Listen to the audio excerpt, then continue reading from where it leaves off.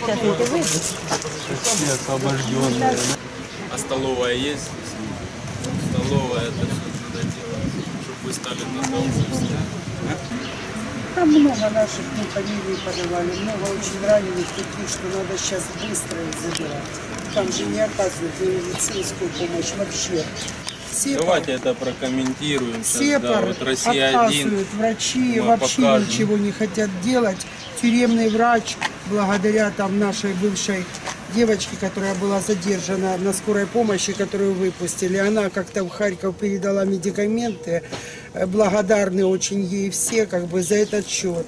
Я себя, с себя золото протолкнула в Харьковском СБУ, чтобы пацанов курить было у наших как-то. Вот так вот мы выживали, ну как могли, ну делились всем необходимым как бы между собой, и мы верили, что мы будем дома. Хотя многие из нас в Краматорске, когда катовали на аэродроме, в ямах, на цепях, ну, убивали. Я женщина, каждый проходящий укр, который проходил, когда нашел удостоверение ДНР, по голове бил и говорил, сучка сепаратистская, ты кормила их, тварь. Ну, вот такое вот. Уничтожали пацанов, там много в ямах еще сидит, просто людей, о которых никто не знает. Нечеловеческих условий. Нечеловеческие условия в Изюме на подвалах потом держат. А потом только на СБУ статьи, статьи меняют непонятные. Мне вменили 528 до 8 лет. Финансовая допомога сепаратист, террористам. Мы террористы, мы твари. Ну, вот такое вот все.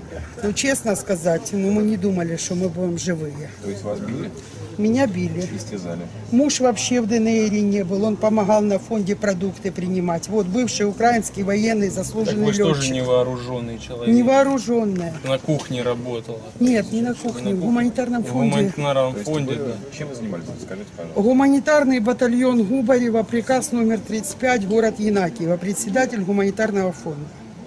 Я собирала, Алла Андреевна? Белоусова. Я собирала продукты, возила на Славянск на Семеновку. Ну, как бы, говорят, ополченцам возила? Да, возила. Там еще флешку нашли, где мы с вами на митинге. Э, это И я рядом с вами да. сфотографировалась. Ах, сучка, ты там. Ну все. Насиловать хотели, вот есть свидетель, которому меня предлагали насиловать, чтобы его выпустили. Есть даже такие свидетели. Ну, у меня сахарный диабет, конечно, меня не кормили, а если что-то и умудрялось, какой-то кусок хлеба я мужу отдавала, потому что он слабее меня духом. Поэтому вот так вот. Ну, это жесть. Это жесть. У меня лицо было после аэродрома язвами покрыто. Меня еле как бы помогли, пролечили. Ну, на Харьковском СБУ дежурные, вот, которые стоят на коридорах, они как-то стараются нас немножко понимать. Чувствуется нормальное отношение. Все остальные это просто жесть. Наручники просто вот позаживали, связаны руки были наручниками. И днем, и ночью мы спали в наручниках в таких боксах. Мужа вообще закрыли в такие боксы, что они вышли мокрые от пота. Полностью мокрые. Сердце сразу схватило. Никакой помощи, ничего.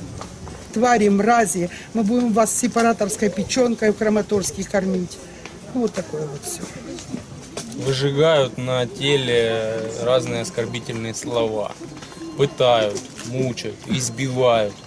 И это не исключения какие-то, это обычное отношение. В Национальной гвардии, вот мы говорим сегодня о Национальной гвардии, так называемой, э, вот это все происходит.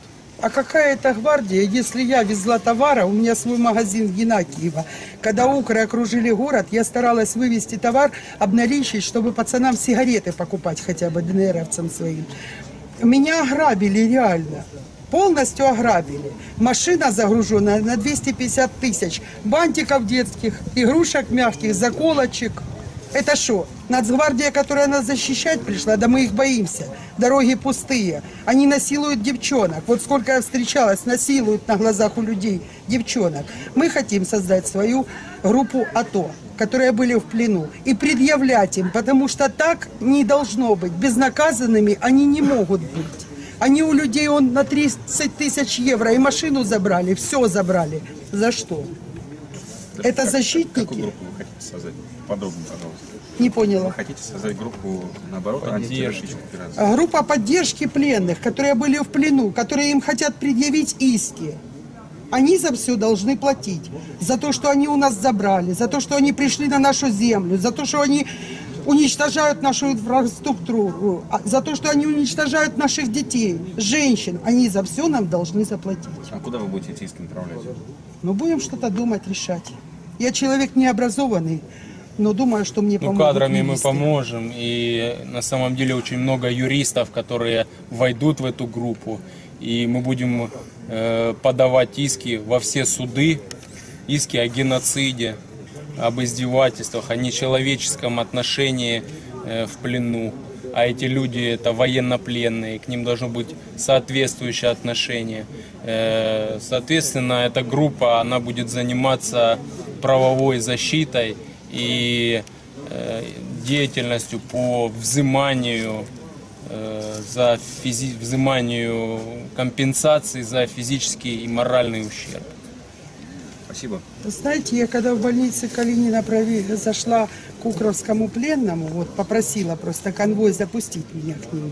Я 10 минут с ним говорила, в итоге достала сигарету и протянула. Говорю, я вышла с плена, на тебе сигарету. У него ноги нет.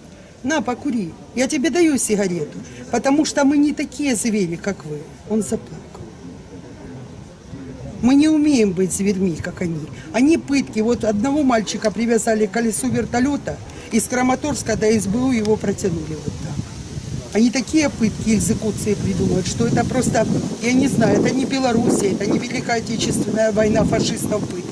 Это вообще непонятно что. Я видел отношения, в свою очередь, как наши ребята относятся, даже если попадают люди из таких звериных э, клоак, как батальон Днепр, батальон Донбасс, батальон Азов, ребята все равно стараются э, обращаться с людьми, э, обращаться с военнопленными как с людьми.